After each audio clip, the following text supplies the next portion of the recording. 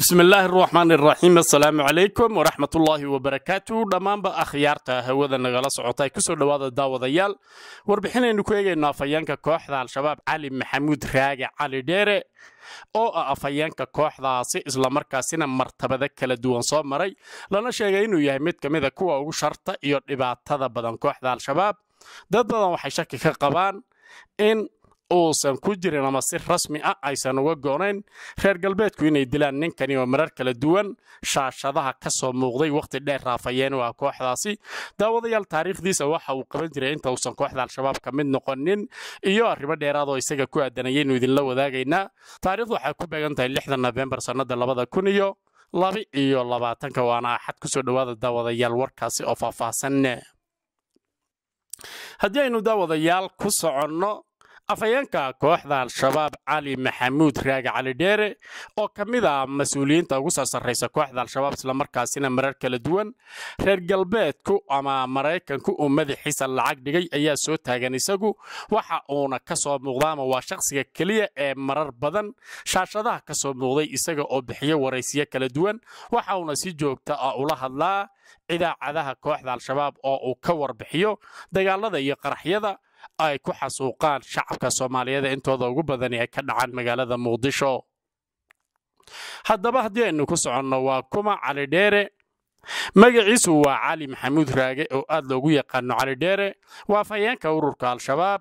inkasta oo xilliga uu dhashay aan si dhab ah loo ogeyn haddana waxaa la tilmaamaa in uu ku dhashay agagaarka deegaanka galhareeri oo u dhow magaalada ceelbur ee gobolka galgaduud sida ay sheegeen. Dad aqoon u leh isaga iyo dhalashadiisii aynu ka soo xiginnay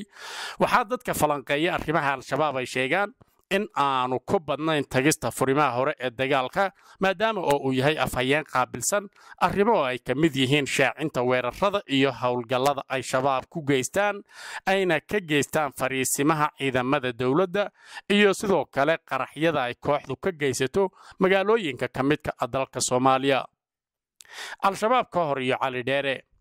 Xoge aynu helaya waxay sheegayaan in uu ka mid ahaa dhallinyaradii ururkii al-itixaad ee soomaaliya ka aas-aasmay wixii ka dambeeyey markii ay dhacday dowladdii milatariga ahayd ee uu hogaaminaya allaha u naxariistee marxuum madaxweyne maxamed siyaad barre sida ay sheegeen khubro kala duwan oo aynu la hadalnay warkanu daawadayaal aynu ka soo xiganay b b sada qaybo badan oo ka mid a ayaa waxa ay sheegeen khuburada isaga wax laga weydiiyey xilligaasi dhallinyaradiisii qayb in uu ka ahaa cali dheere itixaadkii waxaana dagaallo uu la galay sida ay dadkaasi xaqiijiyeen ciidamo uu hogaaminayey allaha u naxariistee jenaraal maxamed faarax caydiid kaasi oo sannadii dii ka dhacay meel u dhow magaalada kismaayo caasimada kumeelgaarka ah hadda u ah maamulka jubbaland. Sidoo kale sannadii ii dagaal u dhexeeyey al-itixaad iyo jabhaddii s s d f oo ka dhacay puntland ayaa uu door ku lahaa halkaa sannadii iyo lixdiina uu ku jiray dagaal ururkaasi uu kula galay dowladda etoobiya deegaano ka tirsan gobolka gedo ee koonfurta soomaaliya al-itixaadkii markii lagu jebiyey dagaaladii waxaa inta badan raggii budigaha u ahaa ay intooda ugu badani ku soo laabteen magaalada muqdisho. Sida uu warbaahinta u sheegay aqoon-yahan maxamed xaaji ingiriis oo taariikhda ka dhiga kingis college ee dalka ingiriiska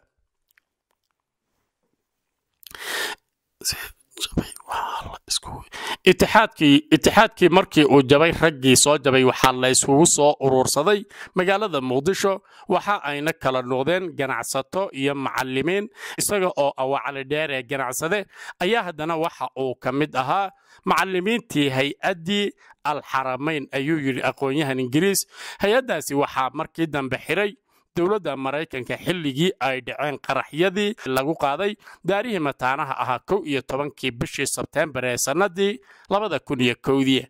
Sidaasi awgeed markii uu ka soo gudbay dagaaladii uu ka qayb galay xilligii uu ka tirsanaa ururkii al-itixaad waxa uu bilaabay in uu ku soo shaqaysto laba xirfadood oo kale ah. Kow ganacsi. Labo macallinnimo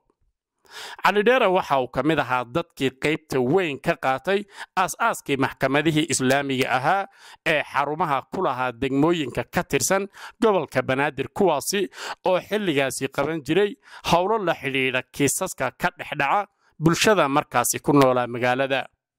xogta aynu helaya waxay sheegaysaa in xilligaasi calidheere uu sidoo kale ka mid ahaa ganacsatadii suuqa daawada ee bakaaraha isaga oo marka uu shaqadiisa suuqa ka soo rawaxo caadiyan tegi jiray maxkamadaha si uu gacan uga geysto howlaha maxkamadda.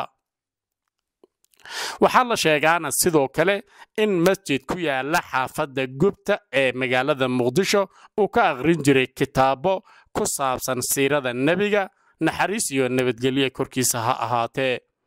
Nin in adeerkiisa ayuu caawin jiray oo gacanyaro uu u ahaa sannadii labada kun iyo afartii ilaa iyo sannadii labada kun iyo lixdii. Bilowgii shabaab oo ahaa garab ka mid ahaa maxkamadihii islaamiga ahaa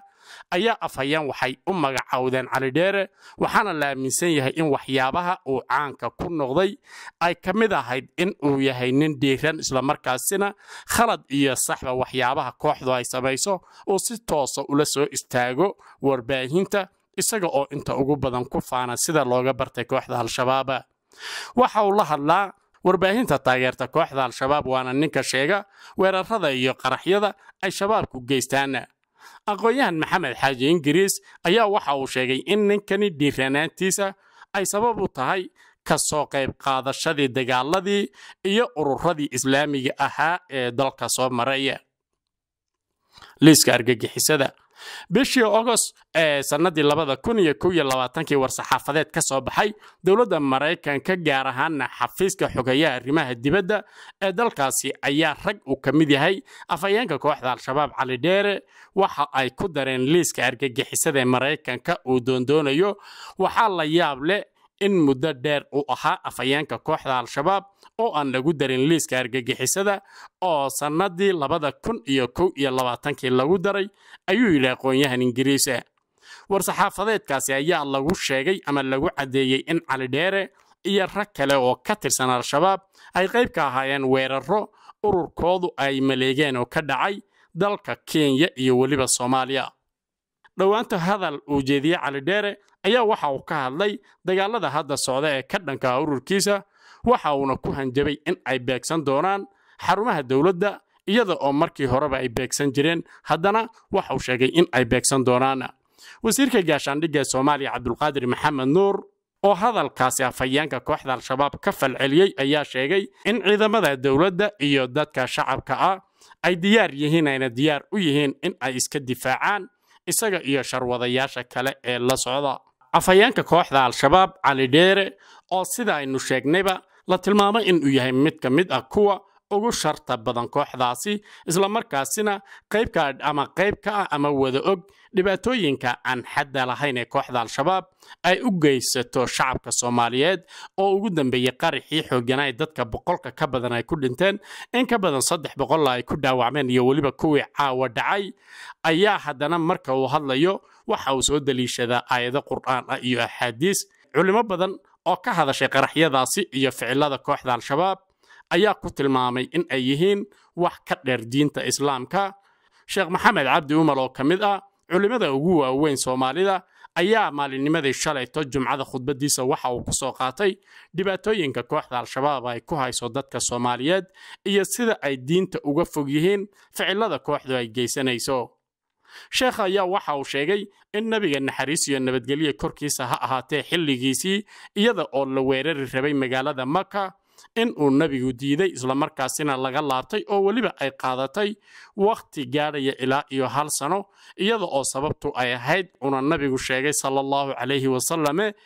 in ay suurtagal tahay gaalada ay doonayaan in ay weeraraan in ay ku dhex jiraan dad muslimiin ah oo ayagu aysan ogeyn. Shakhsiyaadba hadday dooni ha ahaadaane sidaasina dagaalkii nabiga naxariisiya nabadgelye korkiisa ha ahaatee uu hogaaminayey uu ku baaqday welibana sannad markii ay ka soo wareegtay la qabtay magaaladaasi. Taasi ayaa waxay muujinaysaa in kooxda al-shabaab oo iyadu intay qaraxyo soo buuxiso meelaha dadku ay ku badan yihiin ku sii daynaysa in ay aad uga dheer tahay ficiladii suubanaha laga bartay iyo sidii uu wax u waday culimmadu inteeda badan waxa ay isku raacsan tahay ama boqolkiiba sagaashan iyo shan ka badan in kooxda al-shabaab ay ka dheer yihiin diinta islaamka ayna yihiin khawaarij wax lagu sheegay oo nebigu naxariis iyo nabadgelyo korkiisa ha ahaatee uu xilligiisii sheegay uuna muslimiinta kula dardaarmay in ay la dagaalamaan. Waxauna yidhi anigu waan la dagaalami haddii inta aan joogo ay imaadaan.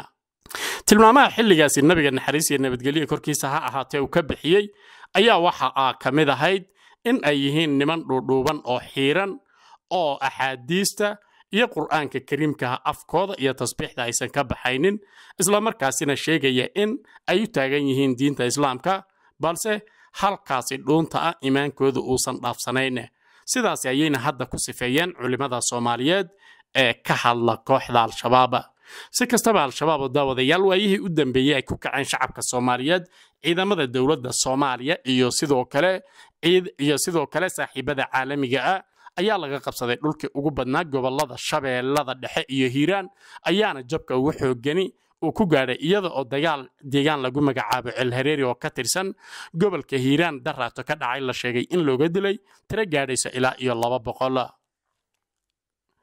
waddamada reer galbeedka oo ayagu mar walba soo saara liistada argagixisada ay u aqoonsan yihiin oo maraykanka ugu horeeyo ayaa dadka qaarkood ay qabaan inaysan dhabka ahayn in ay dilaan cali dheere oo asagu mar walba soo muuqda waxaana la aaminsan yahay in cali dheere aan la waayeen. Haddiiba ay dhabka tahay in la dilo waxay dad badani qabaan kooxdan in ay ujeeddooyin kala duwan u aas-aasan tahay. Qaar badan oo ka mid a madaxdoodana xidhiidha ay la leeyihiin ururo caalami ah iyo waddamada reer galbeedka. Waxaa shaki laga qabaa in uusan u saxsanayn sida ay dad badani moodayaan amaba dhibaatooyinkan uu ku jiro sida uu uga hadlayo aysan dhab uga ahayn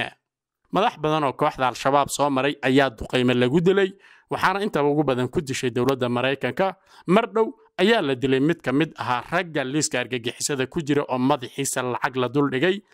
laguna magacaabi jiray cabdulaahi nadiir. Ninkaasi oo aan ahayn dadka aadka loo yaqaano calidheere oo dadka loogu aqoonta badan yahay marar kala duwanna shaashadaha ka soo muuqday. Su'aal ayaa ka taagan sababta ay u dhici la'dahay duqayn asaga loo geysto oo lagu khaarajiyo